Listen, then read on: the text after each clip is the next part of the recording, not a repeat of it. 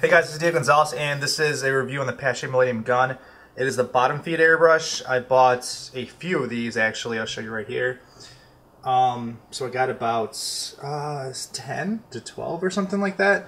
I bought them from um, Paasche Company, uh, Chicago Airbrush Supply, and um, they're pretty cool. I like them, and this is kind of my review on them.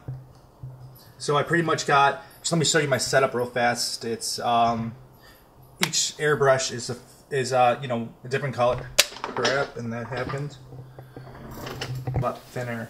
So like the barrels of them, you check right here, are pretty thin. So it's pretty cool, and I like holding it better. Um, so the review of them pretty much is what I like about these things is that um, they're super cheap, and that's why I got them. I didn't get them to like paint like detailed portraits. I got them so I can make a lot of t-shirts and do them more efficiently. So if you see everyone has like a different color to it, red, orange, you know, purple. And that way, you know, I can like switch colors super fast. And more importantly though, um, I can switch to a color and it's not diluted. It's not like, you know, ha you know, it's not black and then I add, you know, aqua in there and then it's like an aqua black. It's just pure aqua. They come up really bright. Um, the triggers are kind of not, you know, they're not that smooth, which I don't, whatever. It's The airbrush is 40 bucks. So, you know, you get what you pay for. Um, so you can use like, um, like Super Lube or uh, Paasche, like like lubricant or whatever it is, uh, airbrush um, you know, makes it a lot better.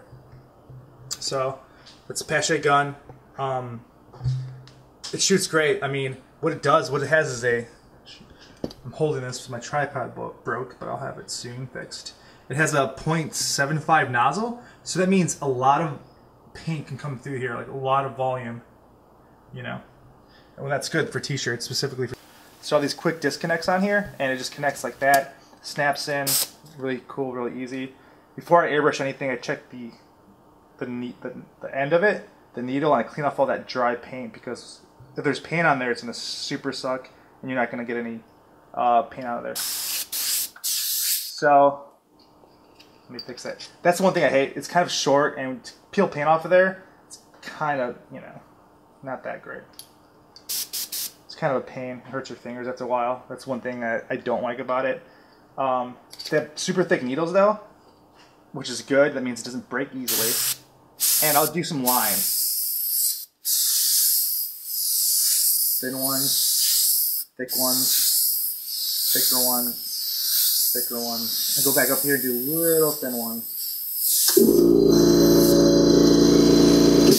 Turn it off. So, I mean, it has pretty decent lines, smooth lines. I can even get little, little, little itty bitty ones for 40 bucks. It's 40 bucks, uh, and it, honestly, it does the same job that I would, you know, an Iwata Eclipse is, you can do a lot of really good detail with an Iwata, but if you're just doing t-shirts and you're just trying to like find a, a cheap airbrush that you can use and have all these colors set up, I would definitely recommend that. So here's an eye. I'll do the other eye. I mean, if you have thousand, you know, like a thousand dollars or two thousand dollars to get you know, brand new Iwatas and get those, but if, you know, I got like 12 airbrushes for like 700 bucks, and that's an investment. It's gonna last me forever. So, and look at that. I mean, I can. Not bad. You know. And there's a T-shirt, and it's it's great. So. I definitely, if you want to do production and do a bunch of T-shirts and a bunch of uh, hats or whatever you're painting, I'll say get a bunch of these, cheap price, load them up, um, and if you want to get like fine art detail, uh, go with the Iwatas. But Paasche Millenniums, uh, they're good. They do the job. So, and for the price point, I definitely recommend them. All right, bye.